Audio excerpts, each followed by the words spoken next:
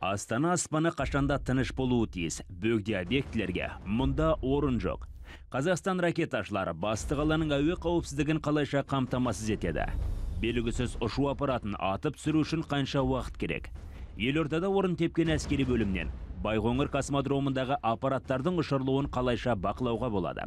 Бағдарлама барысында еліміздің әуе кеңістігін қорғаушы ракеташылардың бір күндік өмірі туралы баяндап береміз.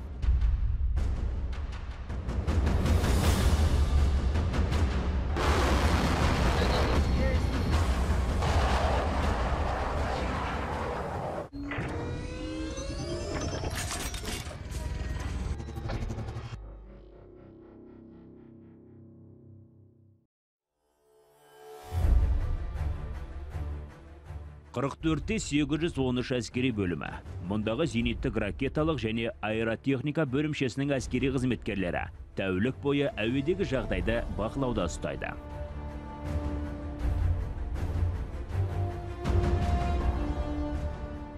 Войсковая часть 44813 является соединением а, войск противовоздушной обороны, сил воздушной обороны вооруженных сил Республики Казахстан.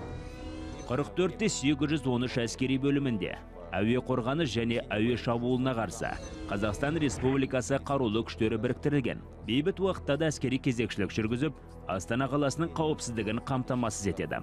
Бұлар зенитті ракеталы және аэротехникалы бөлімшелер күн сайын кезекшілікті атқарып, Байқоңырдан ұшырылатын ғарыш аппаратында бақылауға алады. Контроль за воздушным движением как гражданских судов, так и военных летательных аппаратов нашего государства.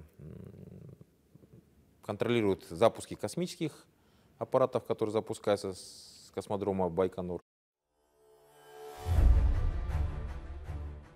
Әскери бөлім заманауи ракета кешені С-300 бен жабдықталған. 6 минуттың ішінде қарудың аталған түрі дайындыққа келтіріледі.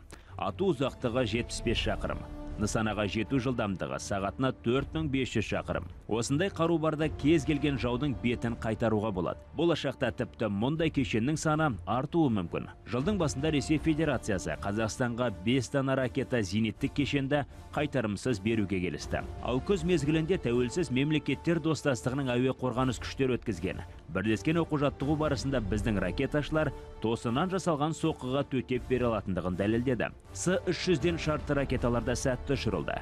Әскери бөлімнің сарбаздары шартты нысаналарды тауып, оларды жоюда да қатарластарынан алда болды.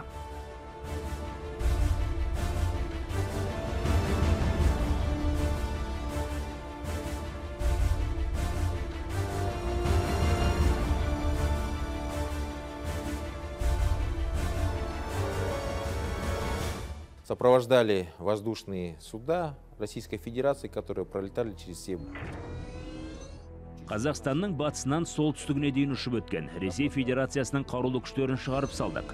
Әскери бөлім тапсырманы орындады. Объектілер табылып шартты түрде жойылды. Ресейдің әуе кемелерін станциядан жоғалғанша бақылап отырдық. Айтпақшы, Нұр деп аталатын станцияны сынақтан өткізіп жатырмыз. и дальнейшем сопровождены до потери нашими станциями. Нұр аталатын радиолокациялық станция әскери бөлімде сынақтан өткізілетін болады. Бұл жердің таңдалғаны да кездейсоқтық емес. Әсіресе қыс пен жыл мезгілдердің ауысуында оның мүмкіндігі барынша сыналады. Одан басқа қараша мен наурыз аралығында желдің екпіні күшті. Оған қарсы тұрамын дегенді аяқтан шалып, бет қаратпай кез келген адамның мысын басады. Алайда ракеташылардың сағын сындыру оңай емес. Ауа райының қолайсыздығы мен аязға да қарамастан әскерилер қаруды шығарып, оны құруға қашанда әзір.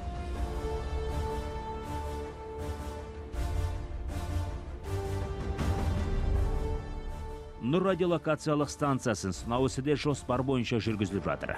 GM 403 Нұр құрылғысы Ground Master 400S тобына жатқызылады.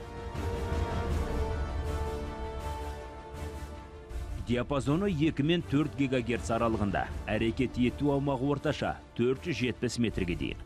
Аталған станциялар әлемдік державалардың қауіпсіздігін қадағалауда. Мамыр айының соңында қазақстандық тарап осындай 20 станцияны сатып алуға уағдаласты. Келісімге де қол қойылған. Енді заманауи кешендерді отандық кәсіпорында жинауға болады. Кеңес одағы заманында аталған компания ракетаға қарсы қорғаныс пен саршаған полигонына ракета шабуылы туралы ескертетін. Тәжірибелік және полигондық үлгілерді монтаждау, жалғау, мемлекеттік сынау мен техникалық қызмет көрсетумен айналысқан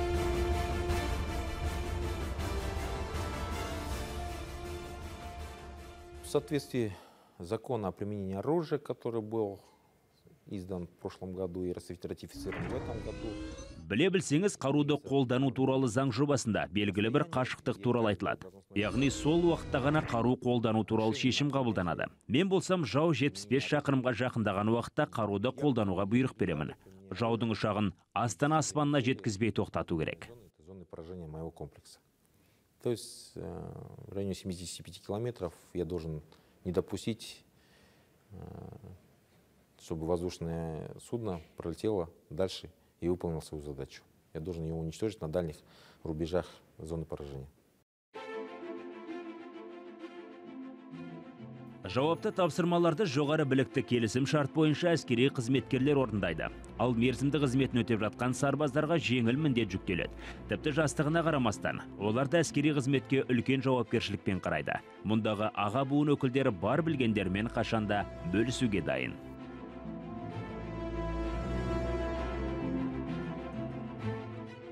Обучение солдат срочной службы непосредственно обучаются как операторами ручного сопровождения на вооружении, дизелистами, электриками. сарбаздардың оқуы да жеңіл. Олар электрмен жабдықтайтын электр дизельші. Оператор радиолокациялық станциядағы планшеттің тілін меңгереді. Оқу процесі бір жылға созылады. Сол уақытта мерзімді борышын өтеуші сарбаздар бар білгендерін шыңдау мақсатында маршқа қатыстырылады. Кейін олардың маневрлерді орындауына баға беріп сәйкесінше біліктілік деңгейлерін анықтайтын боламыз.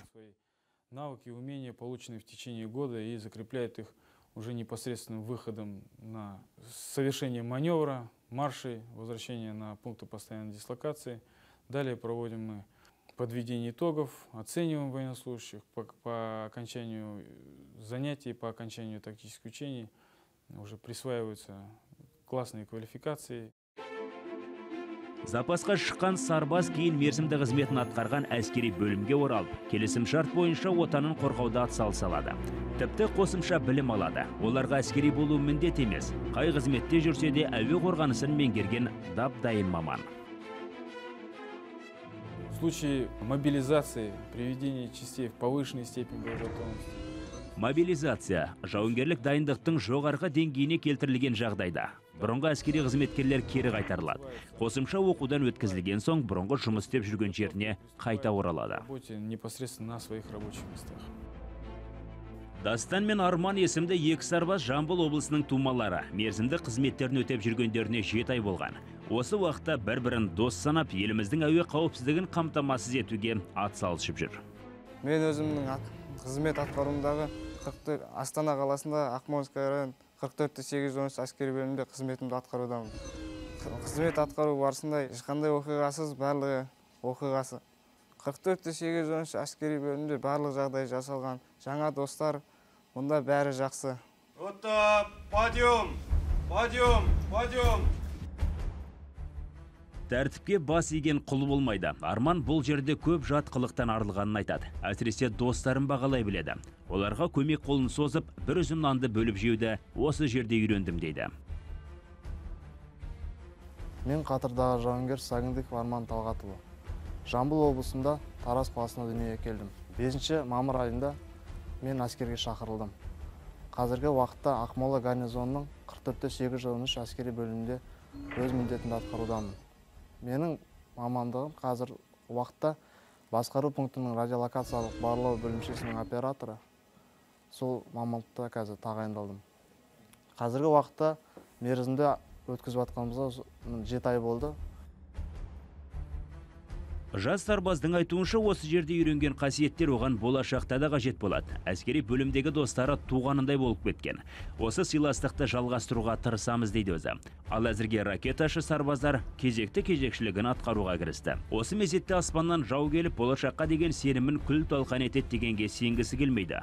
Отандастарының көтеріңкі көңілі мен аспанын ашық күйінде сақтауда барын салатынын айтады. Әйтпесе біздің сарбаздар қашанда дайын. Дабыл берсе болғаны бір оқпен нысананы дәл көздейді